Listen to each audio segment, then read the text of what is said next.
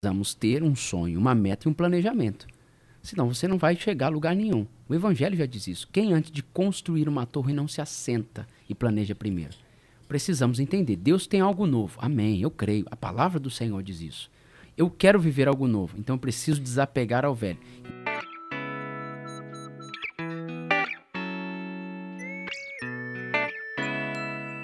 Sejam bem-vindos a mais um episódio do Tronocast Podcast, o último do ano, Ricardo. Pô, o último do ano, cara. Que ano especial pra gente nesse Tronocast, hein? O ano de criação do Tronocast, com, graças a Deus, muito, muitos episódios chocantes, tocantes, importantes, né? Muita gente que a gente jamais imaginou estar aqui nessa mesa esteve, né? Que honra pra gente né, poder fazer parte desse ministério, né? É, coisas que Deus colocou, né, Ricardo, desde a da primeira palavra que a gente recebeu e que Deus veio trabalhando durante todo esse tempo, de levar histórias, testemunho, testemunhos e mudar a vida das pessoas através disso, né? Através de, dessas experiências com Deus e com Jesus. E Deco, a gente veio de uma igreja com, de 150 é, membros, deve, deve transitar ali nas famílias o quê? 200 e pouco, 300 pessoas, né? Que é, é onde a gente conseguiria atingir. Né? Talvez uma, uma, uma outra igreja parceira ou não, que eu já dei palestra, você também. Mas com o Entorno Cast, cara, milhares de pessoas ouviram a palavra de Deus, ouviram testemunhos, ouviram o que Deus fez nas suas vidas. E, cara, eu tenho muita honra de. Eu me sinto muito honrado de poder fazer parte de um ministério como esse, porque é, missão, isso também é, né? de alguma forma nós estamos praticando a missão de Cristo aqui, levando o nome dele é, para que essas pessoas levem isso, escutem isso nos seus trabalhos, nos seus carros, dentro da sua casa. E, cara, me sinto muito honrado de estar aqui, me sinto parte do reino, fazendo o reino de Deus crescer. É uma honra, é uma honra, é um privilégio a gente poder fazer isso aqui. E quando a gente vê que de fato isso alcança as pessoas, como a gente viu em vários episódios aqui, lembrando um pouco, né? Eu lembro do Flávio, em uma situação, ele compartilhou uma história de suicídio Sim. e ele e uma pessoa procurou ele. Uhum. Nossa, é, eu massa. tenho interesse de me suicidar.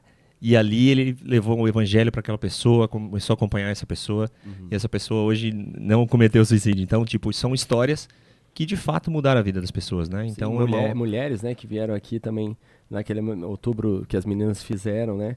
Com problemas de casamento, problemas de relacionamento, problemas pessoais, de de realização pessoal, de, de autoestima. Quanta coisa, né, cara? Que foi muito é. legal.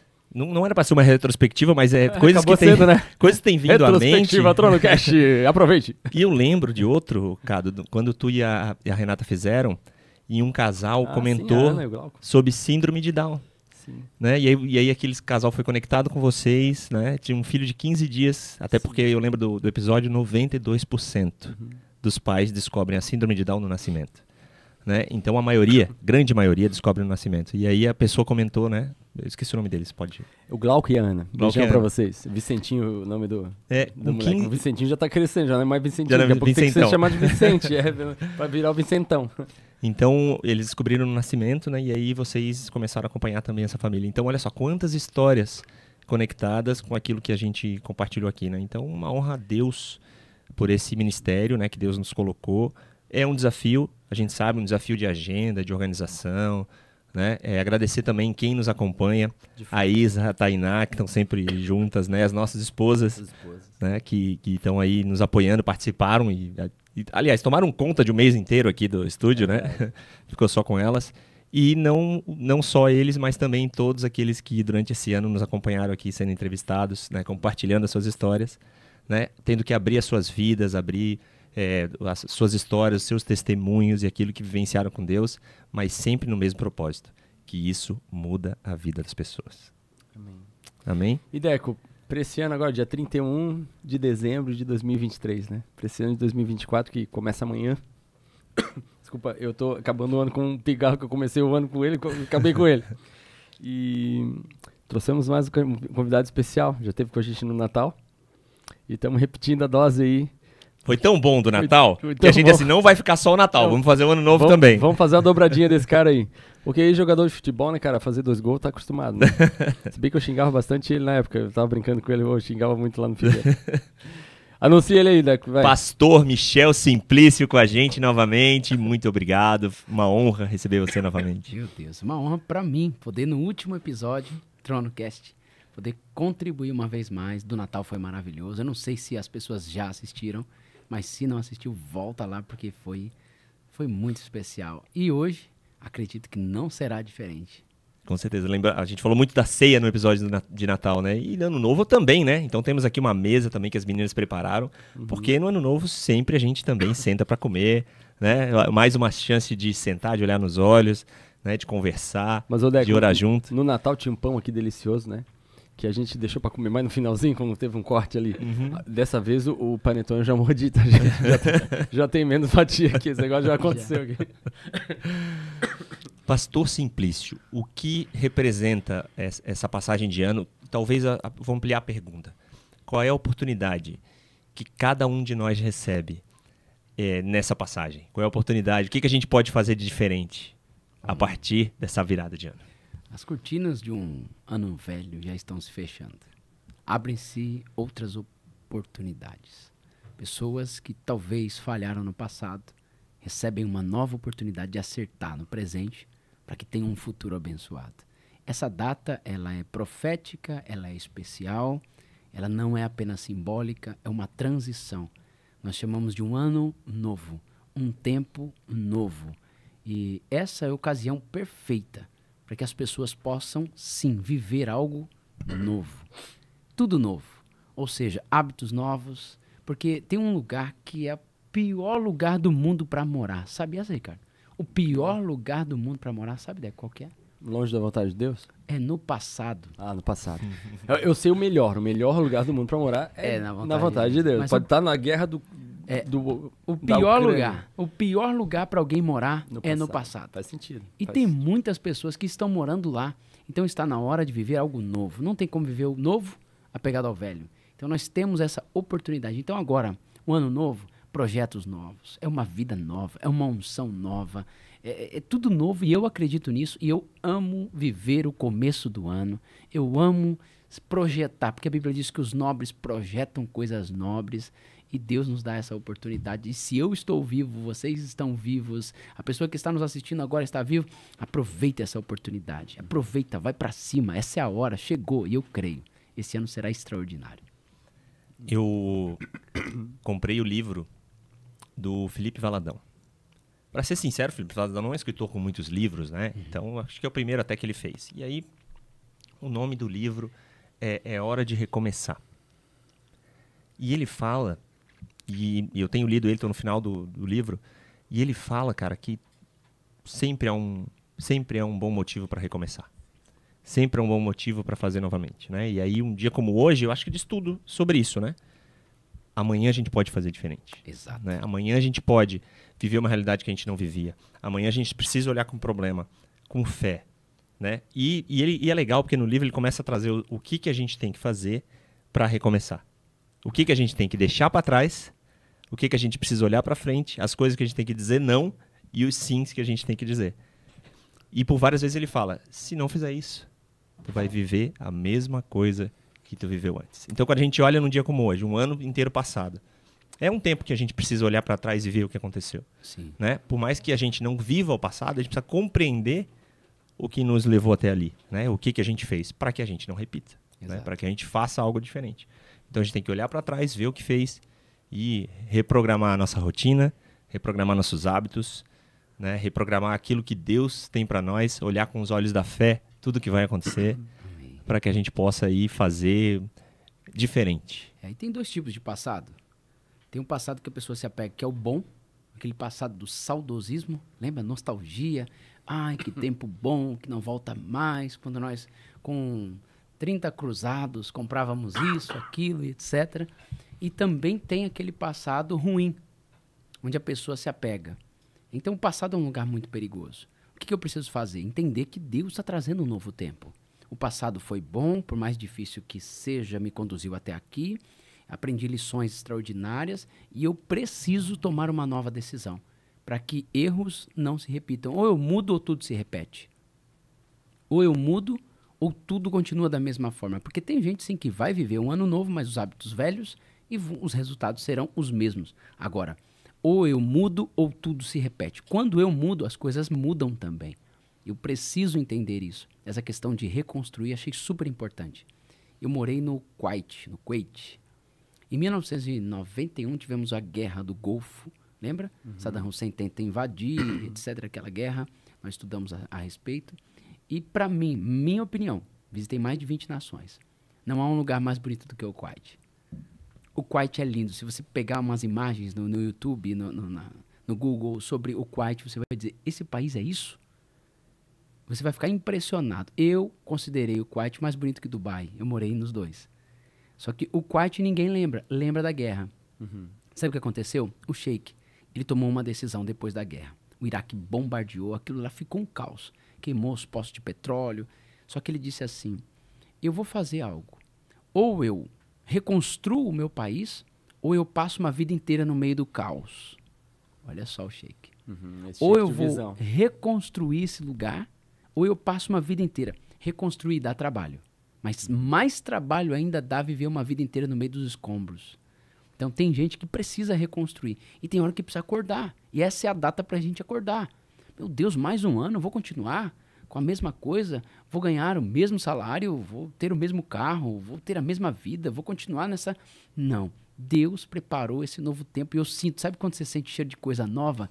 Aquela expectativa de viver algo novo? E eu creio que Deus está trazendo isso sobre muitas pessoas e a ideia é essa. Vamos viver algo novo em Deus. Deus tem muita coisa boa para fazer. Deus tem coisas extraordinárias para derramar. Enquanto isso, tem muita gente apegada ao passado. Não deu certo. Ei, não deu certo no passado.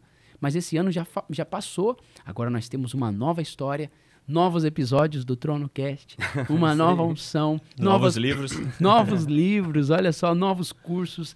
E eu creio, assim, de todo o meu coração, 2024 será o melhor ano da minha história. E eu profetizo, o melhor ano do Trono Cast. Amém. Amém, Glória a Deus. amém. Creio nisso. Jesus. Amém. E o que fazer, pastor? O que fazer para sair de um desse, desse- de um momento onde a gente não está curtindo, que não está gostando, que os resultados não estão bons, que a- as coisas parecem que não acontecem e olhar para esse ano? De- deixa eu complementar isso, Deco.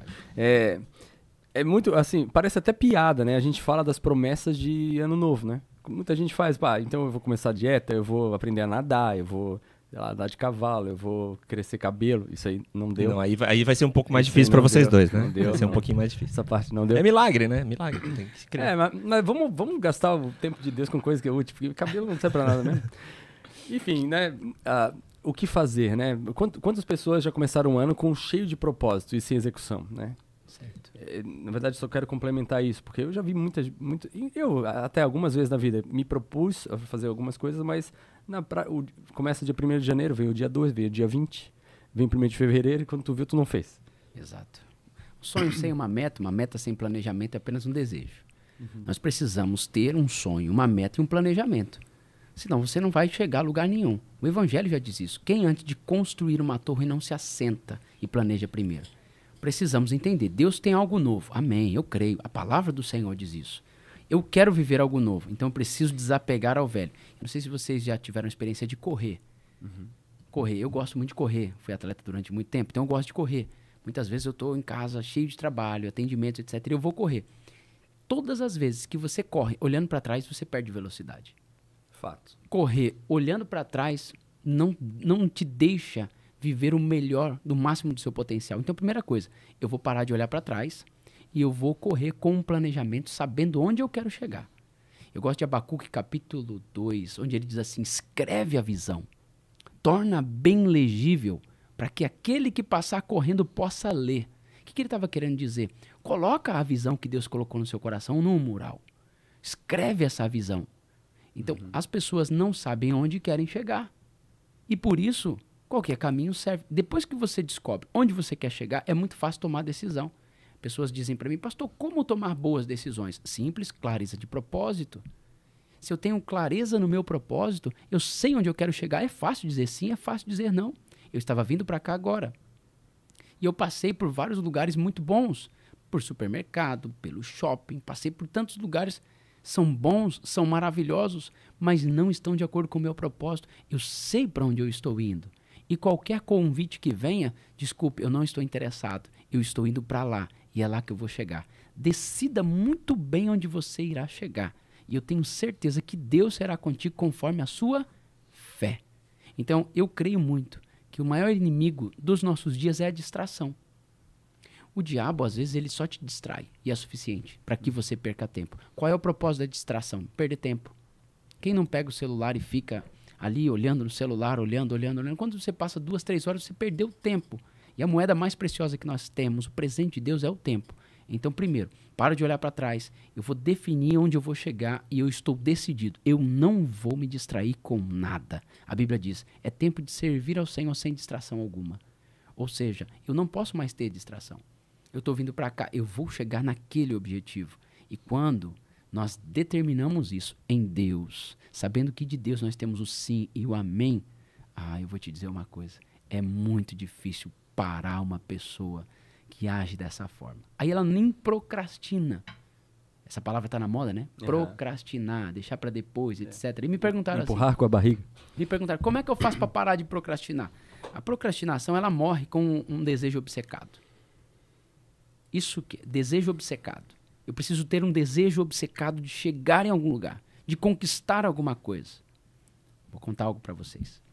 Certa vez um, um jovem chegou para o sábio e, e fez uma pergunta de como é, ele chegaria no seu objetivo.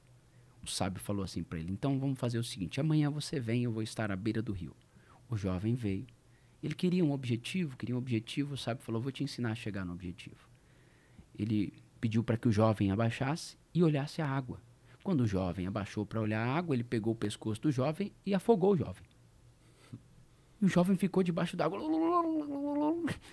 10 segundos, 15 segundos, perto de um minuto, o jovem já. Ele tirou a cabeça do jovem. O jovem falou assim: Você quer me matar? Aí o sábio parou e disse assim: O que é que você sentiu no primeiro, nos 10 primeiros segundos? Eu queria respirar. Ofegante. O que é que você sentiu com aproximadamente ali 30 segundos? Ele: Eu queria muito respirar. E quando deu quase um minuto, o que, que você sentiu? Tudo que eu queria era respirar. E o sábio virou as costas e foi embora. Quando tudo que você quiser for aquele objetivo, você vai chegar lá. Senão, você só tem um desejo. Você estava falando da, da corrida, né? E, e me veio a cena de um corredor. E aí olhando para trás e a distração que, que leva a olhar para trás. Mas olhar para o lado também distrai. Né? E, e a gente vive num, no- hoje numa sociedade, no mundo, da questão da tecnologia, e a gente olha muito para o lado. Como tu comentou agora, de olhar redes sociais e tal. É um olhar para o lado, Exato. né? E o quanto isso pode também nos distrair. É, a comparação ela é perigosa. Por que, que é perigosa?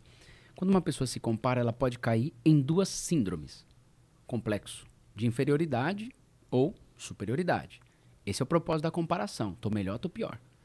É, você olha pro corpo do lado e diz, ó, tô melhor que aquele, tô pior que o, outro, que o outro. Então, o propósito da comparação é te levar a um dos complexos, inferioridade ou superioridade, sabe? E isso é muito perigoso. Você deve ter um limite equilibrado de se comparar para que você saiba, olha, não estou muito atrás, eu estou indo no caminho, realmente é para cá que eu estou indo. Se comparar com alguém que já está lá, que você quer chegar naquele objetivo, isso é saudável. O problema é quando nós nos comparamos e, e deixamos com que esse complexo de inferioridade, principalmente nas redes sociais, ninguém posta prova, dificuldade, ninguém prova momento eh, posta momentos difíceis no médico. As pessoas só postam vitória. Então as redes sociais muitas vezes desanimam. Quando a pessoa entra ali, ela só olha o bem bom. Ela não olha o, a- A verdade. o trabalho, vida. é, o dia a dia, não olha os bastidores. Eles só olham o palco. E o palco é perfeito, entre aspas. Mas o palco da nossa vida não é perfeito. Tem muito trabalho por detrás disso. Sabe, eu vou, vou citar um exemplo. Eu tenho um- uma dificuldade com aqueles vídeos que a pessoa aparece assim e diz: Olha, não tem ninguém e não sei o quê. De repente ela toca na tela e pá! Um monte de gente aparece na, na plateia. E a nossa sociedade pensa, pensa assim: as coisas acontecem assim, ó. Toca na tela e tudo acontece. E não é. É muito trabalho. Você vai ter que se esforçar.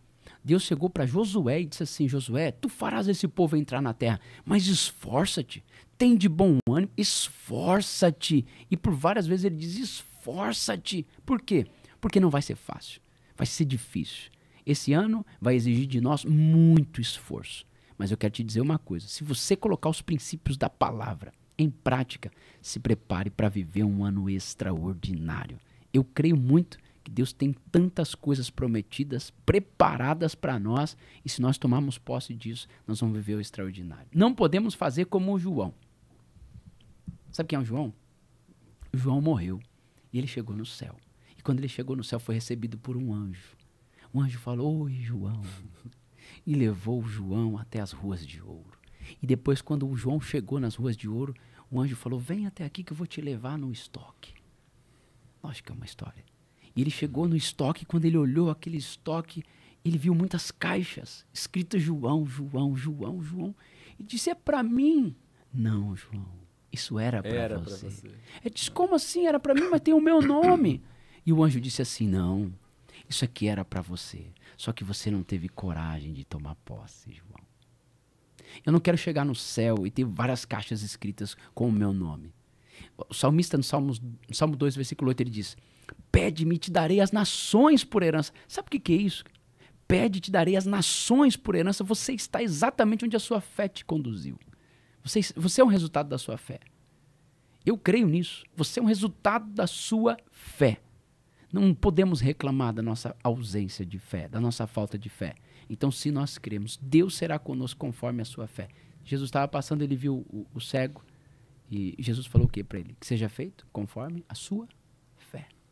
Ele, eu quero ver, então veja.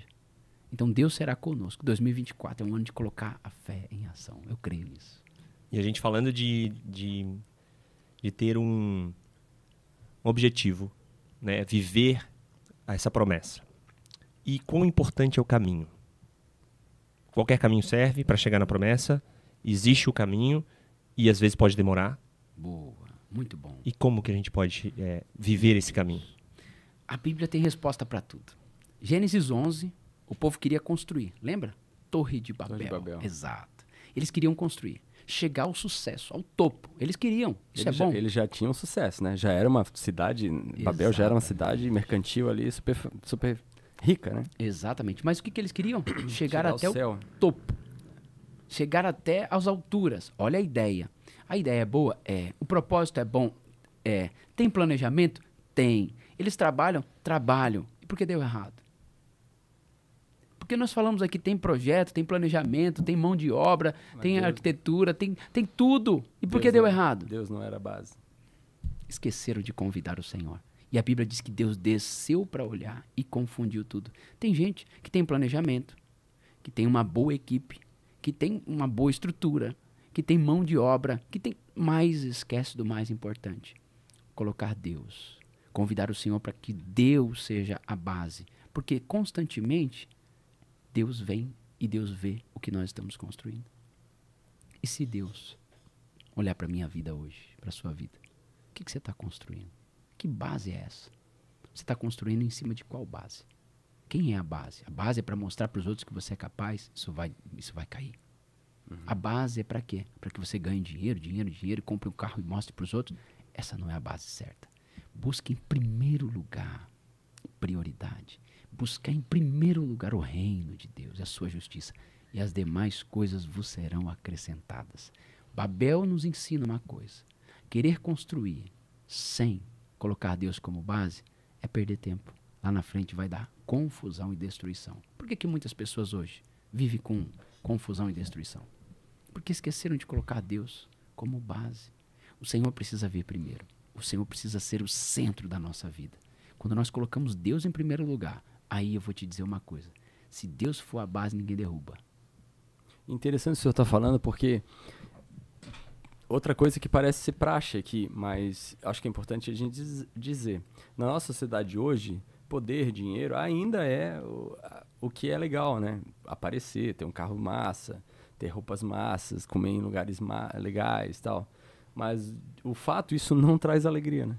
O que, que realmente, de fato, é mais importante buscar em 2024? É. essas coisas.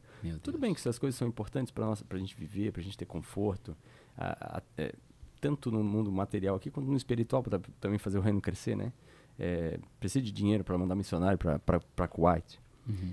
É, mas isso não é o mais importante, né? O primeiro lugar não é, não deveria ser isso. Não deveria ser o status, não deveria ser o dinheiro. É verdade. Eu Nós estamos aqui em Santa Catarina, muitas pessoas não conhecem, né? Uhum. Estamos aqui em Santa Catarina e falamos de um lugar chamado Coqueiros. Quem quiser, tiver um interesse, digita aí, você vai ver que esse lugar é fantástico. Uhum. Aqui eu vivi uma das experiências mais formidáveis da minha vida. Tinha 19, 20 anos. Só pra ajudar, Coqueiros é um bairro da cidade de Florianópolis, tá, galera? Isso, meu Deus, é maravilhoso. Esse lugar é fantástico. Eu recebi uma ligação de uma pessoa e me disse assim: Pastor, eu. Não era pastor. Michel, eu preciso falar contigo. Eu disse: Ok. A pessoa era muito rica, mas muito rica mesmo. E na época eu ganhava 150 reais, mais ou menos, categoria de base, etc. Né? Ganhava pouco. E a pessoa me disse: Estou desesperada, preciso conversar contigo. Falei: Vamos lá, vamos conversar. Me trouxe aqui em Coqueiros. E a pessoa me disse: Michel, eu tenho vários apartamentos em Balneário Camboriú. Na época, a pessoa tinha um carro chamado EcoSport, que tinha acabado de sair. Era um carro extremamente caro, extremamente bonito, era o carro da moda. Imagina isso? Meu Deus, muitos e muitos anos atrás. E a pessoa me disse: Eu tenho 22 apartamentos que eu ganhei de herança. Eu tenho casas em Balneário Camboriú, eu tenho esse carro, eu tenho mais dois, três carros e tal, tal, tal. Eu fiquei pensando: o que, que eu vou fazer? E a pessoa me disse: Mas eu não. Não tenho alegria. E começou a chorar. Tem um vazio existencial na minha alma. Não sei o que eu faço. Eu tenho isso tudo. E a pessoa disse: Pra quê? E eu fiquei assim: Deus, por que, que eu estou aqui? E a pessoa disse assim: Mas eu queria o que você tem. Essa paz aí, ó. Isso eu não consigo. Porque a paz não se compra, né? Não está à venda na farmácia. As pessoas precisam entender que sem Deus, sem Jesus, não há plenitude. Existe um vazio no coração do homem que só Deus pode preencher. Você pode ter dinheiro, você pode ter fama, você pode ter carros de luxo, mas existe um vazio existencial que é só a presença de Deus. O vazio do homem tem o tamanho exato de Deus. E você pode conquistar várias coisas. Porque se dinheiro resolvesse tudo, os ricos não, não tirariam a própria vida. O dinheiro é bom, é importante, lógico. O dinheiro é importante, você precisa dele para comprar, para se locomover, etc. Mas a presença de Deus, ela supre qualquer necessidade. Eu acredito muito que a plenitude está em Deus. E, e eu creio, Deus traz o recurso. Mas o recurso não traz Deus.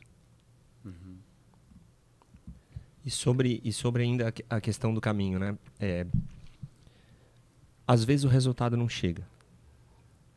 Às vezes o que a gente colocou como meta, como objetivo, aquilo que a gente tem caminhado para, não acontece.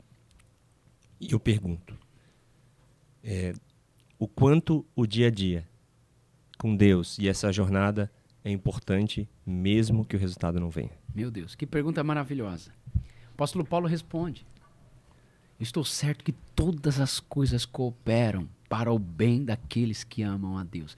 Quando você entrega a sua vida nas mãos do Senhor, as coisas não dão errado. Como assim? Os planos de Deus se cumprem, não necessariamente os seus. Deus não é mágico e quando você entrega a vida nas mãos dele, ele não é obrigado a fazer do jeito que você imagina. Vou te contar algo agora. Eu estava indo a Israel. Fiz uma caravana, 33, 34 pessoas. Pagamos a caravana, planejamos. Era o sonho, era o sonho. E quando nós viajamos no sábado, estourou uma guerra. Israel contra a Palestina ali, o Hamas, aquela coisa Agora, esse ano? Agora. Sim. É, Nós estamos em 2023 ainda, né? Sim, sim. Então, esse ano. Então, estourou a guerra. E eu não pude entrar em Israel, não pude entrar no Egito. Fiquei preso 12 dias na Europa ali, sem poder atingir o meu sonho. Eu comecei a andar naquela cidade. E Deus começou a falar comigo: Meu filho, eu frustro os teus planos para os teus planos não frustrar você. A vontade de Deus é boa, perfeita e agradável. Nos meus planos estava Israel, mas nos planos de Deus estava a Europa. E eu aprendi tantas coisas lá. Então, quando eu coloco a minha vida nas mãos do Senhor, a vontade é de Deus. Porque Jeremias 29 diz assim: Sou eu, Senhor, que sei os planos que tenho a vosso respeito. Sou eu, Senhor, que sei os caminhos, que são caminhos de paz e não de mal, para vos dar um futuro e uma esperança. Então, quando eu coloco a minha vida nas mãos do Senhor, deu errado? Não, não deu errado, não. É a vontade do Senhor que é soberana sobre a sua. Os seus planos podem falhar, mas os planos de Deus, e eu entendi, Deus não me queria em Israel agora. Deus me queria na Europa e foi maravilhoso. Pessoas receberam Jesus, eu tive experiências sobrenaturais, porque Deus não me queria lá. Porque quando Deus quer alguém em um lugar, Meu filho, nem o diabo impede. Quando Deus quer alguém num lugar, não existe ninguém que diga que a porta está fechada e que a vaga está é, preenchida. Quando Deus quer alguém num lugar, ele abre portas, ele move pessoas, ele coloca os pequenos, ele usa quem ninguém imaginava, porque ninguém pode impedir o agir sobrenatural de Deus. Agora, quando você tem uma convicção, minha vida está nas mãos do Senhor, o diabo, ele perde totalmente a força diante do poder de Deus. Amém, amém. E a gente vê, a minha esposa é, é responsável por, pelas missões da, na nossa igreja, né? Então, que legal. A gente tem bastante contato com missionários, até semanas atrás teve um casal de missionários da Tailândia, eles estiveram aqui no, no, gravando com a gente, eu não pude gravar, né? Nesse dia eu tinha a apresentação das minhas filhas, mas eles ficaram lá em casa e, e ficaram no hotel, mas passaram lá em casa, a gente fez uma amizade aqui pessoal, porque só tinha internet, eles na Tailândia, né? E, cara, cada vez que eu vejo um episódio desse, assim, uma família dessa largando tudo, indo com os filhos lá pro outro lado do mundo, e assim, uma cultura. Viajar é bom, né? Ir lá e conhecer a Tailândia, ficar 20 dias no hotel, conhecer, passear, tirar um monte de foto e voltar pra tua terra é maravilhoso. Outra coisa é tu morar lá e ter que conviver com comidas muito apimentadas pra tua filha de 9 anos, 7 anos sabe, comer é, grilo, comer inseto, comer. Não, é bom. A Vivi falando, é, eu comi grilo, é bom, é bom, é sequinho assim, tu morre de. É gostosinho. Eu falei, tá, sabe? Imagino que depois acostume, mas é, é um choque cultural enorme, né? É. E, e, ainda Tailândia é um lugar tranquilo, né? Mas enfim, temos, a gente tem amigos aí é, em lugares bem mais complexos, né? Países árabes. Países árabes não, países muçulmanos. Sim é, gente na Turquia, que apesar de ser um país tranquilo, também é muçulmano, então tem algumas limitações aí de vais e vens. E o negócio fica bem mais perigoso, né?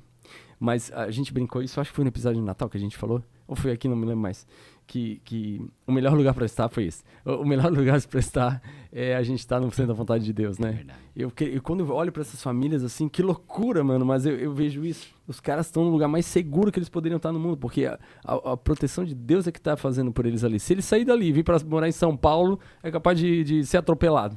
Mas lá no meio da guerra, onde Deus quer que eles estejam, eles estão seguros, porque eles estão fazendo a vontade de Deus, né? É, quando nós. Mas estamos... os planos de Deus nem sempre Deus são os nossos, né? E aí vem, é às vezes, o, a expectativa de esperar ou de ter certeza de que não era bem aquilo ali, né? E ter que seguir. Não é, não é fácil, né? Muitas vezes não é fácil. Descobrir qual é a vontade de Deus para você vai trazer toda a plenitude. Desejar viver essa vontade de Deus. Lembra lá em, em Êxodo 9, Números 9, perdão versículo 16. A Bíblia diz que o povo era guiado por uma nuvem. A nuvem fala da presença de Deus. Enquanto o povo estava debaixo da nuvem, havia proteção. Enquanto estava debaixo da nuvem, havia provisão. Enquanto estavam debaixo da nuvem, Deus ditava o ritmo. Sabe, existe um Deus que quer direcionar você em todas as suas decisões. Existe um Deus que quer falar com você. Deus fala.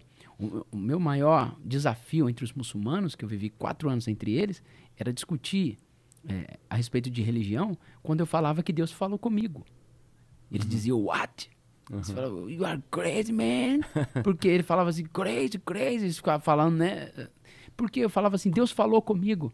Deus não fala com você. Você não é mais Maomé, você não é profeta, é né? É porque lá tem 99 ramificações do nome, legislador, juiz, etc., mas não tem pai. Uhum. Então, Deus, ele quer se relacionar conosco, ele quer direcionar as nossas vidas, ele quer que nossas decisões, ele espera que as nossas decisões sejam direcionadas por ele. Enquanto Deus cuidar de nós, tudo vai acontecer de acordo com aquilo que ele preparou. Agora, não tem como. Tem gente que entrega a vida nas mãos do Senhor, mas é como aquela pessoa que deixa o cônjuge conduzir e fica do lado dizendo: vira para cá, vira para lá, freia, olha o carro da frente, etc. É, Deus não é controlado. Ó, sem olhares entre maridos e mulheres Sim, aqui. a gente já se olhou aqui, né? A gente já eu, se olhou e olhando aqui. Eu percebi, eu percebi. Nessa linha, é, e até lembrei do episódio da, da Viviane e do David, e eles falaram uma coisa que eu achei muito interessante. Eles falaram o seguinte: lá na Tailândia, eles são muito abertos. Muito abertos. Abertos a tudo. Então você fala do evangelho, Jesus, oh, que bom, Jesus. Uhum. Você fala de Buda, Buda, que bom, Buda. E olha só, quando a gente não diz não, e a gente diz sim para tudo, né? É. Acontece isso. Você acaba aceitando tudo. E aí olhando para agora, essa virada de ano, se você continuar dizendo sim para tudo, você não vai chegar onde tem que chegar. Meu Deus. Lembra de Daniel? A Uhum. Bíblia diz que Daniel colocou no seu coração não se contaminar com os manjares do rei. E por causa disso, a Bíblia diz, Deus deu a ele conhecimento, inteligência e sabedoria, mais do que a qualquer outro. Então, quando eu tomo uma posição, eu vou servir a Jesus. E assim, estar em cima do muro é perigoso. É, estar em cima do muro, você já pertence ao inimigo. Aquela velha historinha. Vocês conhecem, né? A história do muro. A pessoa estava em cima do muro e de repente o diabo ficava dizendo, é, os anjos de Deus falavam, desce, desce. Os anjos dizendo, desce, vem para cá, para o nosso lado. E o diabo do outro lado quieto, sem falar nada. E a pessoa em cima do muro. E os anjos, desce, vem para cá. E o diabo não falava nada. E a pessoa em cima do muro e os anjos, desce, desce, vem para cá. E o diabo do outro lado tranquilo. Aí ele perguntou pro diabo, ô, você não quer que eu vou para aí não? Você não me chama? Aí o diabo falou, fica tranquilo que o muro já é nosso. então assim, eu acredito que estar em cima do muro é, é um problema. Nós precisamos hoje definir. Josué disse assim, capítulo 24, vocês precisam decidir a quem vocês vão servir. Eu e a minha casa serviremos ao Senhor. Precisamos nos posicionar, ter os nossos princípios, os nossos valores. Eu vou servir a Jesus. Dentro da minha casa não entra bebida alcoólica. Dentro da minha casa ninguém fuma. Dentro da minha casa eu não aceito isso porque é a minha cultura. E parece que se posicionar assim é muito radical. Não. Eu preciso respeitar não é concordar com a prática. Respeitar não é concordar com a prática. Eu te respeito, mas discordo dessa prática. Mas eu tenho os meus princípios e os meus valores. Os meus filhos não vão assistir filme de terror. E não vão.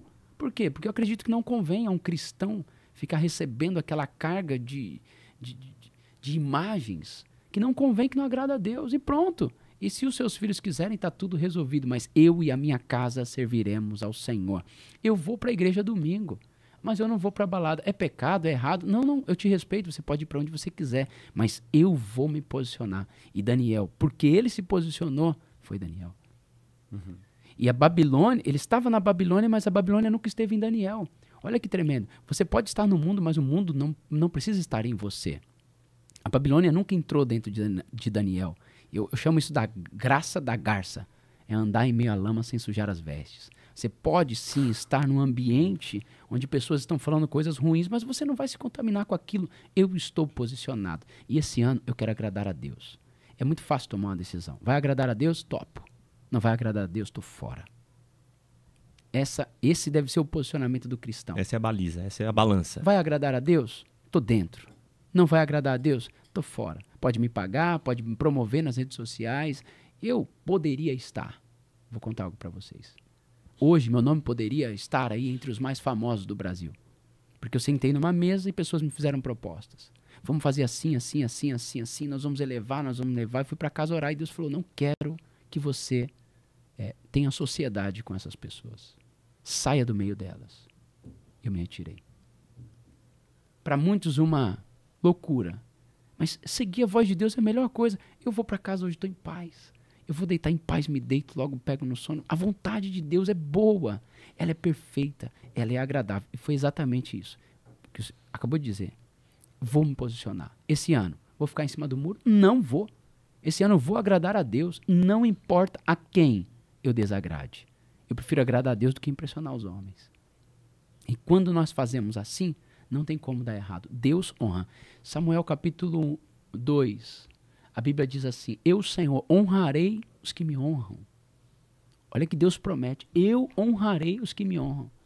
Nós vamos honrar o nome de Deus através do Trono Cast. Vou honrar o nome de Deus lá no meu trabalho. Eu vou honrar o nome de Deus quando meu cônjuge não estiver presente. Eu vou honrar o nome de Deus ali. Eu vou honrar o nome de Deus no jantar, no almoço, entre os meus amigos. Eu vou honrar o nome de Deus. Eu vou estar posicionado. E a Bíblia diz: o Senhor prometendo, assim diz o Senhor: eu honrarei os que me honram. Honre a Deus e você vai ver o que é que Deus vai fazer. E a gente não sabe o que é que Deus faz com a vida daquele homem que ele deseja honrar. Ele pega o pequeno e faz assentar entre os príncipes. O homem que Deus deseja honrar, ele tira do monturo, ele muda a história, ele muda a circunstância, ele muda as situações, por quê? Quando alguém, o salmista dizia, eu estou sentindo a presença de Deus aqui. O salmista dizia assim: agrada-te do Senhor, e ele satisfará os desejos do seu coração. Mas antes, agrada-te do Senhor. Uhum. Quando nós agradamos o coração de Deus, Salmos 84 diz assim: Deus é um sol e é um escudo. Ele não negará bem algum aos que andam corretamente. Então, quando eu agrado a Deus, você pode ter a certeza, Deus não deve nada para ninguém. Deus olhou o comportamento de Noé. Deus olhou. E a Bíblia diz que na geração de Noé, uma geração pervertida, uma geração que estava fazendo, cometendo torpezas. E quando Deus olhou um homem, a Bíblia chama, ele de pregoeiro da justiça. E eu gosto do versículo que diz assim: Noé, porém, achou graça aos olhos de Deus. Sabe o que, isso significa? Noé fez Deus sorrir. Noé era um homem que, mesmo numa geração corrompida pelo pecado, ele se posicionava em santidade. E por causa daquele posicionamento, a Bíblia diz que Deus deu a Noé um projeto. Qual projeto? Você sabe. Um projeto que salvou não só a Noé, mas a família de Noé. Por quê? Porque todo homem que age diferente recebe um projeto diferente. E essa é uma geração que Deus vai promover pelo coração, pelo posicionamento que a pessoa tem. Noé se posicionou contra o pecado. E a Bíblia diz que, a, meu Deus, aquele dilúvio quando chegou, todos ficaram. E a família dele estava lá. E vai ter um dia que muitos vão ficar. E aquele que se posiciona vai subir. Uhum. Creio nisso. Amém. Amém. Eu. O pastor Douglas Gonçalves. É, ele é top. Ele, ele é legal, né? Jesus Cop, a galera ali. Ele constantemente ele fala sobre os ladrões do tempo. Ele prega isso algumas vezes, né? Eu fiz um, eu bolei um, um, um uma palestra, uma conversa, um material é, que eu dei a algumas igrejas aqui da, da nossa região sobre internet e as redes sociais e aquilo que que os perigos das redes, na verdade, isso. Começamos na nossa igreja, o negócio foi tomando uma proporção um pouquinho maior porque o assunto era muito atual, né? E eu queria abordar um pouquinho isso aqui, não só redes sociais, mas os ladrões do tempo, né? A gente está falando aqui de foco, de propósito, de seguir a Deus, de servir, de honrá-lo. E eu acho que eu vi no, no, ano de 2023, né? Vamos falar assim, muita gente presa telas, a celular e a coisas que te tiram do teu propósito, do teu foco, do teu objetivo, né? Não só de Deus, mas da, da tua vida, da tua família, da, da, da eu vi pais é, com filhos do lado e o filho nitidamente buscando, querendo atenção e o pai ali, né? É, eu vi, que mais que eu vi? Mães, assim, mães no parque de diversão, sentada no celular, enquanto a criança brincava, em vez de estar lá brincando com ela. Nossa, eu vi muito disso. Shoppings inteiros, as famílias, cada um num celular.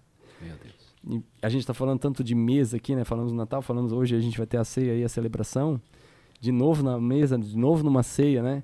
Já pensou se na ceia, dois do Réveillon, cada um levar o seu celular e ficar tirando fotos, ficar mandando, botando no Instagram? É. Qual é o sentido de estar junto? É. Né? E o Douglas Gonçalves usou isso muito bem, eu acho muito, uma propriedade muito boa, que ele, ele, ele falou que, cara, cuidado com os ladrões do teu tempo, né? Celular é um, mas pode ser outras coisas, futebol, televisão, videogame, trabalho, que seja, enfim eu, eu, enfim, eu queria abordar isso aqui e, e trazer esse alerta para as pessoas, né? Cuidado com os ladrões do seu tempo. Tem coisas que roubam o nosso tempo, tiram a gente do nosso propósito, nosso foco, nosso objetivo. E o Deco falou da corrida de olhar para o lado, né? Eu acho que o que mais tira a gente para olhar para o lado, talvez não para trás, porque a pessoa falou do passado, as minhas experiências, daquilo que eu vivi, do bom, do ruim, e ficar só olhando para o passado. Mas mesmo que a pessoa não viva isso, viva aqui, olhando para frente, esse lado aqui, ó, que me para, poxa, celular, Instagram e essa vida fake aí que o senhor comentou, né? Que aqui eu sempre brinco com isso. Eu nunca vi o cara botar no Instagram que ele, é, ele era goleiro e levou um frango. Ele sempre bota aquela defesa fantástica. Nunca tem o frango ali, né? Ou o cara chutou a bola e foi lá na, na, na arquibancada. Tem um gol que ele fez na, na, no ângulo, mas ele fez um, um gol daquele ali, 30 chutes para fora. Né? Pelo menos eu, assim, o deck é habilidoso. É, Tô falando com um monte de jogador não, aqui. Não, não dá pra comparar com o Simplício, né, querido? Por favor. É, tudo bem. Eu sou é, muito melhor.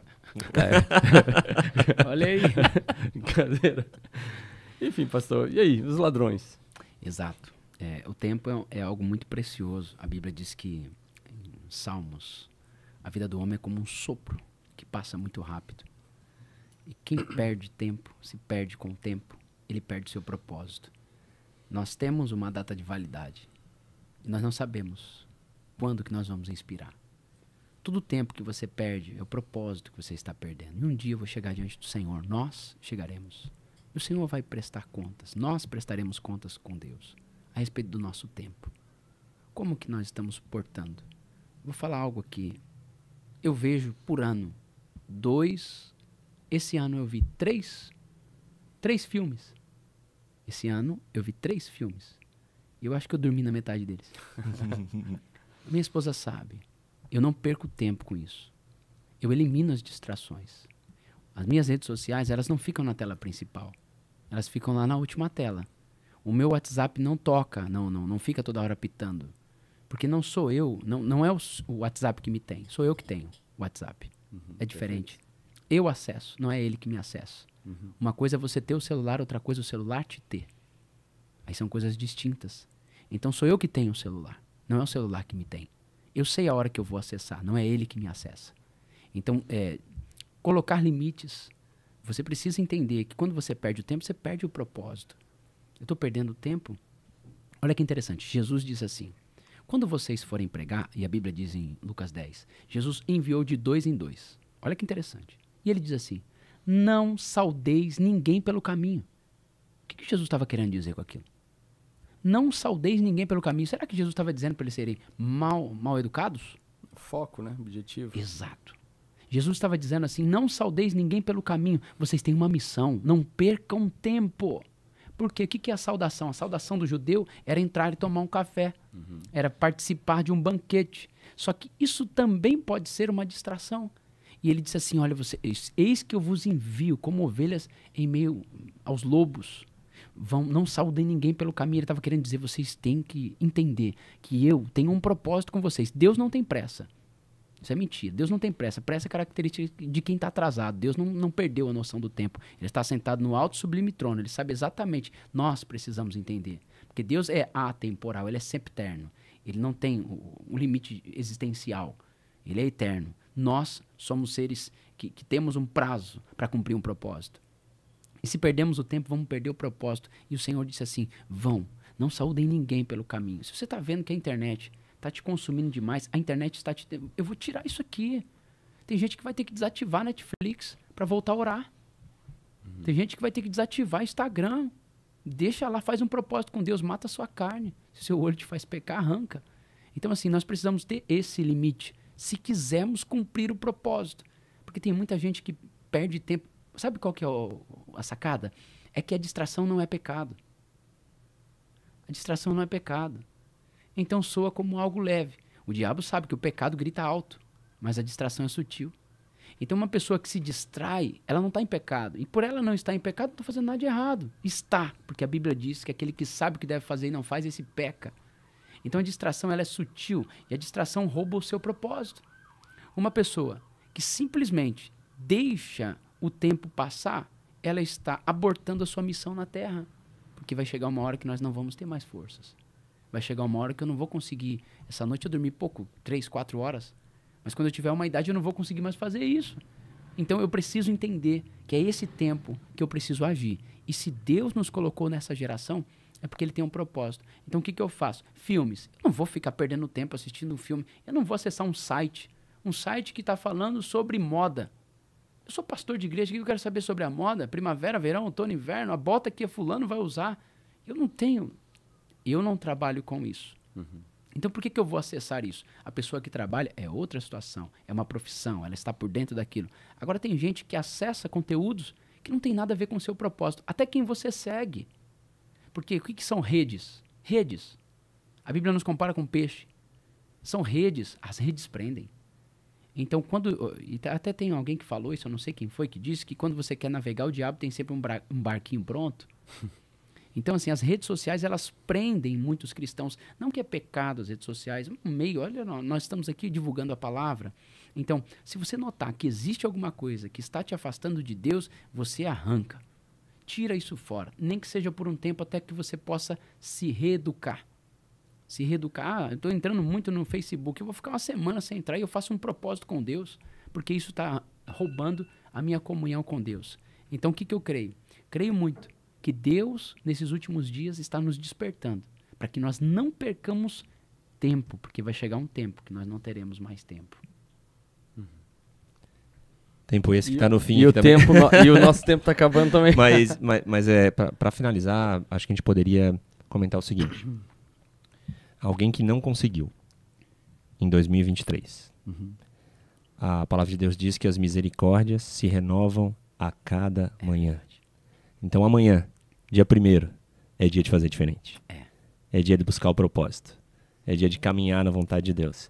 E mesmo se as coisas aos nossos olhos não derem certo, aos olhos de Deus eu estou nesse caminho. É isso. É não só colocar Deus em primeiro lugar. Como assim não só colocar Deus em primeiro lugar? Você acabou de falar que tem que colocar Deus em primeiro lugar, porque tem gente que coloca Deus em primeiro lugar no domingo e tira na segunda. então eu preciso manter Deus em primeiro lugar todos os dias deste ano. Eu vou priorizar a presença de Deus. Eu vou buscar a Deus. Eu terei esse ano hábitos diferentes. Eu estou determinado. Eu vou orar como eu nunca orei. Eu vou ler a Bíblia como eu nunca li. Eu vou buscar a Deus de uma forma tão intensa, tão sobrenatural, que eu quero me envolver com o Senhor como eu nunca estive envolvido. Ah, eu já tive experiências do passado. Ok, maravilha, parabéns. As experiências do passado te trouxe até aqui, mas o que você precisa daqui para frente pode ser que não seja suficiente. Eu preciso de buscar algo novo. Eu quero algo novo. Eu preciso de resultados novos. Não dá para manter as mesmas práticas. Então eu preciso de acordar de forma diferente. Eu preciso de levantar de forma diferente. Eu preciso de saber os cursos que eu vou fazer, os livros que eu vou ler, as pessoas que eu vou estar. Eu preciso ter isso em mente. Porque não basta colocar Deus em primeiro lugar, é uma coisa muito vaga. Coloca Deus em primeiro lugar. Não. Mantenha Deus em primeiro lugar todos os dias e você vai ver como seus planos serão bem-sucedidos. Por isso que eu digo, priorize Deus. E vamos falar do livro, então. meu Deus. É uma ferramenta, é um instrumento. ferramenta? Né? Uma ferramenta, um instrumento para priorizar Deus e colocar Deus em primeiro lugar Obrigado. todos os dias de nossas vidas. Olha aí, posso falar rapidinho? Claro. Olha aí, essa ferramenta com certeza já tem ajudado milhares de pessoas e vai ajudar muitas pessoas. Por quê? A ideia disso aqui, como que nasceu isso? Como que nasceu Priorize Deus? Deus nasceu da minha dificuldade. Eu era uma pessoa que orava três horas, mas no outro dia eu orava três minutos. Eu não conseguia manter uma constância. E aí eu era acusado pela minha própria consciência, porque eu não conseguia orar. Às vezes eu orava muito, às vezes eu não orava nada. E chegava no final do dia eu dizia, Deus, tu sabes. E Deus me dizia, eu sei, que hoje eu não fui sua prioridade. Porque não é falta de tempo, é falta de prioridade. Então Deus começou a ministrar no meu coração. Você precisa ter constância. Sabe o que, é que muda a vida de um homem? Não é o que ele faz de vez em quando, mas o que ele faz constantemente. Quer ver uma coisa? Uma pessoa que é forte, ela vai às vezes para academia? Não, ela está constantemente na academia. Uma pessoa não fica gorda porque simplesmente foi num rodízio de pizza final de semana. Não, é porque ela tem o hábito de se alimentar em horários inadequados. Então, o que eu faço constantemente constrói o meu futuro. O que eu faço habitualmente é que vai construir e, e ditar quem eu serei no amanhã. Então, o Priorize Deus nasceu com, essa, com esse propósito de ajudar pessoas a todos os dias acordar na presença de Deus. Colocar e manter Deus em primeiro lugar. Por isso que tem aqui, ó. Vou abrir aqui, olha só. Meu Deus. Vai valer a pena. Olha, aí, olha aí, ó. Já tem temas muito, muito atuais. Então nós temos um QR Code onde a pessoa pode ouvir as ministrações e ouvir a oração do dia. Tem um plano de leitura anual. Ah, vamos ler a Bíblia junto esse ano, né? Poderíamos fazer um propósito de ler a Bíblia toda esse ano. Tem gente que é crente 10 anos, cristão 30 anos, nunca leu a Bíblia. Nunca leu a Bíblia. Passa vendo trilogia, mas não passa vendo é, e recebendo da porção da palavra de Deus. Então, tem um plano de leitura anual da Bíblia Sagrada, tem como ler a Bíblia, por que ler a Bíblia, tá tudo aqui. Versículos de auxílio e três cursos: como vencer depressão, estresse e a ansiedade. Quando você acende a luz, as trevas precisam ir embora. Eu e um médico, nós gravamos, Dr. Bernardo Guedes, gravamos é, três cursos. E a pessoa que adquire o livro ganha o curso né, e pode desfrutar dos benefícios do devocional diário, que é uma vida diária com o Senhor. Não existe nada melhor. Nada melhor. Não, nunca me apresentar do que todos os dias passar tempo a sós com Deus. Por que, que, a depressão, o estresse a ansiedade tem tomado conta da sociedade? Isso pode denunciar o nosso afastamento de Deus. É como se fosse um termômetro que vem denunciar que estamos longe do Senhor. E por isso as pessoas estão tão estressadas. Buzinam no trânsito, qualquer coisa brigam, ficam chateadas, brigam com os filhos, discutem com a esposa. Não é esse o lar que Deus quer. Por que, que as pessoas estão tão ansiosas em relação ao futuro? Por quê? Porque parece que o futuro está nas mãos dela. Agora, quando entregam nas mãos do Senhor, o que, que é a depressão? Eu sei que a depressão pode ser endógena e nós tratamos isso no livro, para que a pessoa procure um médico. Nós não temos um problema em relação a isso, muito pelo contrário, eu incentivo a pessoa a fazer um exame, procurar um profissional, mas a depressão pode estar ligada às questões do passado. Ninguém fica depressivo por causa do futuro. Ficamos ansiosos, ficamos depressivos por causa do passado. Então, nesse livro, eu acredito que nós vamos ajudar. Já, já temos inúmeros, mas inúmeros testemunhos. Eu abro as redes sociais assim, quando eu olho, meu Deus, pessoas dizendo, pastor, muito obrigado. Reconectei com Deus. Estou tendo uma vida com o Senhor. Esse é o segredo. Para aquele que quer colocar, manter Deus em primeiro lugar, porque esse ano nós vamos buscar Deus de forma muito intensa. Pastor, e até para quem não tem essa prática, para é, ajudar isso, são, são devocionais rápidas, né? Se ele quiser ficar inv investindo em tempo de oração tal, e levar as três horas por dia, ótimo, maravilhoso. Mas se não, em cinco minutinhos, dez minutinhos, ele consegue ler ali, né? Exatamente. Então, a leitura, em torno de quatro minutos, a pessoa consegue ler. E são 366 mensagens. Então a pessoa consegue todos os dias ouvir a voz de Deus, se conectar com Deus. Se ela tiver tempo para ter um tempo maior de devoção a Deus, ok, mas tem dia que está corrido. Tem dia que a gente acorda e temos muitas atividades. Mas é necessário ouvir a voz de Deus. Porque quando eu ouço a voz de Deus, a voz de Deus acalma o coração. A voz de Deus te dá instrução, ela te dá direcionamentos. A voz de Deus é tudo o que nós precisamos. Deus fala com a gente. Deus fala o tempo todo. Essa semana vocês ouviram a voz de Deus. E eu também. Essa semana, todos que estão acompanhando ouviram a voz de Deus. Ai, pastor, Deus falou comigo? Sim. Por que, que nós não percebemos? Por causa de dois motivos. Ou estamos distantes ou distraídos. Por que distante? Você já tentou falar com quem está longe? Tem que gritar, né? Ei, fulano. Deus não grita, Deus fala. Então, os nossos pecados nos distanciam de Deus. Se aproxime de Deus e você vai ver que é Deus que está falando. Às vezes eu estou distante demais, eu preciso só me aproximar. Ou eu estou distraído. Sabe quando você fala com alguém, um filho, e ele está lá no celular, ele está brincando. Filho, filho. É difícil falar com quem está distraído. Ou estou distante ou distraído. Priorize Deus vai te ajudar a se aproximar de Deus e eliminar essas distrações. Eu entro no meu quarto, deixo meu celular, modo avião, e eu vou falar com o Senhor. Porque eu preciso ouvir a voz de Deus. Eu preciso. Deus quer falar conosco. Deus é um Deus que fala. Se hoje ouvides a voz do Espírito, não endureçais o vosso coração. Deus falou com todos os homens da Bíblia Sagrada. Você acha que Deus vai colocar a gente na terra e não vai falar conosco? A Bíblia é um livro de experiências. Se você tirar as experiências da Bíblia, você tem que rasgar a Bíblia toda quase. Ô pastor, como assim? A Bíblia começa com uma experiência, termina com uma experiência. Começa numa experiência no Éden, termina com uma experiência no Apocalipse. Aí você vê, Abraão teve uma experiência com Deus, Noé teve uma experiência com Deus, Jacó teve uma experiência com Deus, Isaac teve uma experiência com Deus, Josué teve uma experiência com Deus, Moisés teve uma experiência com Deus, Elias teve uma experiência com Deus, Daniel teve uma experiência com Deus. E você vai vendo no Novo Testamento homens e mulheres tendo experiências com Deus constantemente, ouvindo a voz de Deus. A Bíblia nos mostra esse relacionamento e nós precisamos buscar isso. Se Deus fala com, com, com as pessoas, por que ele não falou comigo ainda?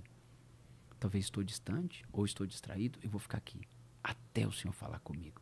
Esse é o lugar que nós precisamos buscar em Deus. Lembrei da história do, de Jesus ressurreto no caminho de Emaús, dois discípulos com ele.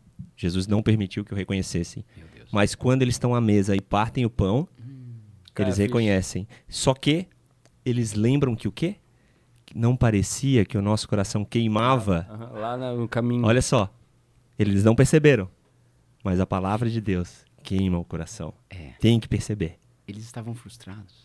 Existem frustrações que nos impedem de ouvir a voz de Deus. Pensa comigo. A Bíblia diz em Lucas 26.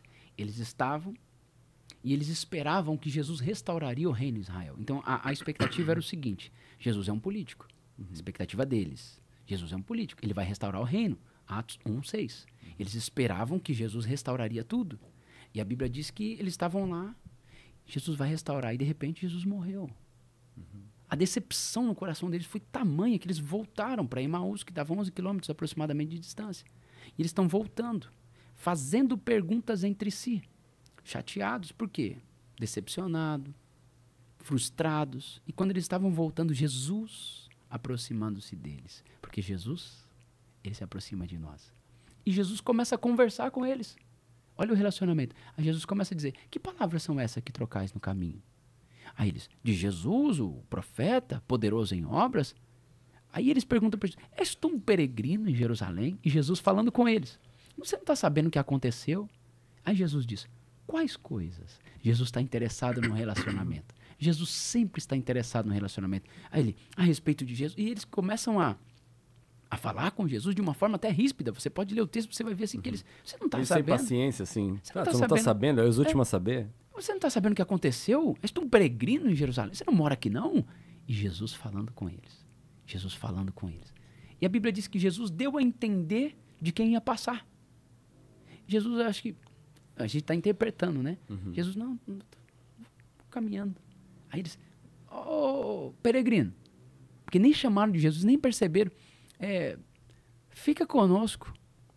Já se faz tarde. Fica conosco, entra. E a Bíblia diz que eles foram para mesa. Lu- mesa é um lugar que os nossos olhos se abrem. E a Bíblia diz que quando eles. Com licença. A pão, agora nós estamos atuais. quando Jesus pega o pão e Jesus parte. o pão, eu imagino. Foi do mesmo jeitinho, né? Que- o, que, o que que vocês acham que eles lembraram? Da última ceia, né? Ah, acabou de perfeito. acontecer três dias atrás. E eu imagino aqueles dois ali frustrados, chateados, entristecidos. Mas Jesus quer um relacionamento.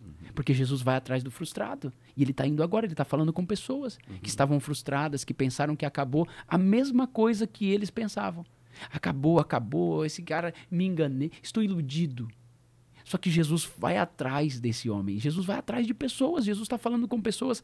Aí quando Jesus parte o pão, a Bíblia diz, os olhos deles se abriram. E a Bíblia diz que Jesus desapareceu. Aí um olha para o outro, Cleopas, né? Era o nome dele. Como? Eu imagino aquela cena, um olhando para o outro, você não... O nosso coração não ardia enquanto ele falava? E a Bíblia diz que eles voltaram para Jerusalém, 11 quilômetros. Agora, minha pergunta é, como vocês acham que eles voltaram para Jerusalém? Correndo, né? Uau! Eu imagino... Maratonista ali. Eu imagino 11 eles gritando. correndo. Ele está vivo. Ele está vivo porque ele vive. Por quê? Jesus pega o frustrado, Jesus pega o decepcionado com a religião, com a igreja, com as pessoas. Ele fala com a pessoa, abre os olhos espirituais da pessoa e traz de volta ao propósito. Jerusalém significa centro da vontade de Deus. Emaús, lugar de sequidão. Jesus tira do lugar de sequidão e leva para o centro da vontade dele, dizendo: o propósito ainda não acabou. Ficar em Jerusalém, até que do alto sejais revestidos de poder. E aqueles homens, agora imagina só, como aqueles homens não serviram depois dessa experiência. Por quê? Porque a Bíblia é um livro de relacionamentos. E quando eu começo a ter esse relacionamento com Deus, meus olhos se abrem. E tem muitas pessoas que estão com os olhos espirituais fechados. Lembra de Eliseu? Eliseu está em casa, o exército inimigo vem. Quando o exército chega, segundo o livro dos reis de Israel, e Eliseu olha, o moço chega, olha, carros e cavaleiros, carros e cavaleiros. Eliseu diz: Tu não tá vendo? Você não está Você vendo. não tá vendo? E Eliseu faz uma oração. Que os olhos dele Abre se abram. Que olhos eram aqueles? Eram os olhos naturais? Porque os, olhos. espirituais- Os naturais estavam vendo o exército do rei chegar ali. Ah, que bom que você falou isso. Os olhos naturais só veem o exército inimigo. Os olhos naturais só enxergam a dificuldade. Os olhos naturais enxergam a, a- a- aquilo que vem contra, seja uma enfermidade, uma dificuldade, seja um momento difícil financeiro, etc., emocional. Os olhos naturais não têm o poder de enxergar aquilo que o mundo espiritual apresenta. Aí Eliseu olha, ora, pá, que os olhos se abram. Aí ele, meu pai, meu pai, carros e cavaleiros. E- então ele abriu os olhos, aí ele diz: mais são os que estão conosco do que que estão com eles. Por quê? Porque quando você abre os olhos espirituais, você vai ver, Deus é contigo, cara. Esse ano, Deus é contigo. Abre os seus olhos. Um com Deus é maioria. E nós somos cristãos, nós temos Cristo ao nosso lado. Nós deveríamos ser as pessoas que mais conquistam nessa terra. Por quê? Cristo está conosco, nós temos uma palavra, nós temos uma promessa. Nós temos um Deus que diz: onde colocares a planta do seu pé, eu chego junto. Ah, como é que você acorda amanhã sendo que o Deus Todo-Poderoso, Criador dos céus e da terra, diz assim para você: Eu te criei, eu te formei. Onde colocares a planta do vosso pé, eu te darei. Está na hora de conquistar, então. Então eu vou colocar a planta e eu vou tomar posse. Esse ano é o ano de saber: Deus está comigo. E se Deus é por nós, Quem será? quem será contra nós? Uau! Uau! Esse é o ano então, hein? Esse é o ano. Ah, vamos para cima. Deus, vamos pra cima. Espero que a palavra esteja falando com você, assim como está falando comigo. Hein, Cada? Eu já tô chorando aqui. É, eu também, cara. É poderoso, poderoso demais. Vamos deixar nosso, nossa última mensagem aí. Eu desejo para você que tenha aí um, um final de ano, né? um- uma última ceia é, com a sua família. Entregue a Deus esse momento. Prepare o seu ano de tudo que está por vir. Creia nas promessas do Senhor para sua vida e caminhe em disciplina, foco e obediência nesse ano que está por vir. Vocês vão passar o, o, o Réveillon onde? Provavelmente em casa com a família. Olha aí, é uma boa opção, é uma boa opção, maravilha. Muitas pessoas têm o costume de passar o Réveillon, nós somos livres, né? Tem gente que gosta de ver os fogos, outros gostam de ir à praia, tem aqueles que pulam sete ondas, nós respeitamos. Não estamos aqui para criticar absolutamente nenhuma prática, mas fica uma recomendação. Eu não poderia deixar de falar isso. A Bíblia diz: consagre os seus planos ao Senhor e eles serão bem-sucedidos. Provérbios 16. Que tal, nesse final de ano, começar de forma diferente? Nesse início, começar diferente. Como assim? Por que não dobrar os joelhos? Aquele que vai estar em casa, tirar um momento ali. Eu tenho um propósito. Toda virada de ano eu passo de joelho na presença de Deus. Não que a pessoa precisa se ajoelhar literalmente, cada um tem um hábito. Mas por que não fazer diferente? Começar esse ano, trazer a família para casa, dobrar os joelhos e dizer: Jesus, conduz a nossa casa, conduz os nossos planos. Eu consagro este ano ao Senhor. 2024 está nas tuas mãos. A minha família pertence ao Senhor, a minha casa pertence ao Senhor, a minha vida pertence ao Senhor. E agora, quando eu entrego nas mãos do Senhor, é Deus que vai cuidar. E eu finalizo aqui. Hoje, hoje foi muito tempo. É, não, mas eu preciso falar mais uma coisa Fala. que o Espírito me tocou e me lembrou, que eu não lembrava disso. Há muito tempo eu não lembrava. A Nana vai lembra- lembrar aqui do que eu tô falando. Todos os Réveillons, antes de eu conhecer Jesus, de fato, né, de, de aceitar Jesus e me converter, eu passava chorando. Meu Deus. Desde a morte da minha avó, Nana que tá aqui vai lembrar. Então, quando dava a virada, eu ia para um lugar sozinho chorar. Meu Deus. Já entrava em pranto. E a minha avó foi uma bênção na minha vida. Minha avó levou a palavra de Deus pra mim, pros meus primos, a família é grande, tá? Meu avô e minha avó tiveram 21 filhos. Meu Deus. Então é bastante gente. Mas ela in- introduziu, né, através da família dela, o pai dela pastor, levou a palavra de Deus. E eu não entendia como que ela foi tão jovem, de uma maneira trágica e tudo mais. Então todos os Réveillons eu procurava um lugar sozinho e ia chorar até encontrar Jesus e entender os planos através da vida dela para nossa família. E aquilo mudou. E hoje eu choro de alegria nos meus réveillons, Meu Deus. de, da bênção que foi aquela mulher para nossa vida e de tudo que Deus fez a partir dela em nós. Olha só. A forma com que você começa é super importante. Tem gente que diz o importante é o final e não o começo. Não, o importante é o começo também. Numa prova, você sabe que se você larga mal, talvez você não chegue no final. Então, o importante é o começo, o importante é o meio, o importante é o final.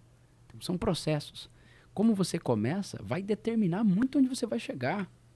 Então, assim, começar o ano consagrando ao Senhor, com certeza é a melhor decisão que alguém pode tomar. Nós vivemos num mundo aí onde o coaching está muito em alta. Não tenho nada contra isso, sou formado nisso, na maior instituição que tem, amo neurociência, gosto de estudar e etc. Mas o coach, de forma sutil, ele coloca três coisas sobre a humanidade: eu posso, eu consigo, eu mereço. Posso, eu sou capaz, eu mereço, crise de ah, identidade, merecimento e etc. O coach ele traz essa ideia. Mas não é aquilo que Jesus ensinou. Jesus disse assim para os discípulos: sem mim, nada podeis fazer. Tudo bem, você pode, você é capaz em Cristo. Não exclua Deus da sua vida, porque sem Deus nós não somos nada. Que é o homem? Olha, nós estamos aqui, por mais forte que sejamos, entope uma veia, morremos amanhã. Era. Nós recebemos o fôlego de vida, é Deus que nos sustenta. Você vai trabalhar, é, mas Deus que te dá saúde. Você dormiu, é o Senhor que te sustentou. Então, colocar Deus em primeiro lugar é fundamental. Você pode fazer os seus planos. Você pode, eu digo, você pode fazer os seus planos. Se você quiser fazer esses planos em 2024, pega uma lista e faz um monte de planos. Tudo bem, é maravilhoso. Faça um desenho, faz o que você quiser. Mas quando você faz o plano, quem assume é você, a responsabilidade é sua. Agora, se Deus fizer os seus planos, quem assume é Ele. A responsabilidade é dele. E o final, a vontade de Deus é muito melhor do que a nossa. Porque eu que sei os planos que tenho a vosso respeito. Então Deus, Ele sabe o melhor que Ele tem para nós. Então, consagre ao Senhor e comece esse ano da melhor forma, na presença de Deus. Amém, amém. Agradecimento. Meu muito Deus, obrigado. muito obrigado. Nós agradecemos aí já, já essa feliz ano série, novo, né? Já feliz ano Feliz novo. ano novo, pastor. Essa Ah, série, né? verdade. Dois episódios, eu tenho certeza que sensacionais, que, que podem abrir os olhos de muita gente, né? Que, que estiverem com essa percepção de que Deus e Jesus pode fazer algo por cada um de nós, né? Nesse novo ano, né? Que seja um tempo de vitória, de alegria, de encontros, de família, De posicionamento. posicionamento de nãos que a gente tem que dar, né? Nesse ano. Amém. Eu quero fechar o ano aqui, obviamente desejando a você um feliz ano novo, mas dizendo, olhando para a câmera, o que você escolher, eu te respeito, mas eu e a minha casa serviremos ao Senhor. Amém. Uau, Amém. maravilha. Feliz ano novo! Feliz ano novo! Feliz ano novo. Lembrando que tá com a gente aqui, Isra, Rafa, Vitor e Nana. E lembrar da Rê, né, que também Nós apoiou, estamos na mesa. apoiou nessa, nessa mesa e todo esse ano aí. Um lindo 2024 Amém. para todos nós aqui. Fechou. Feliz Amém. ano novo! Feliz ano novo. Deus abençoe.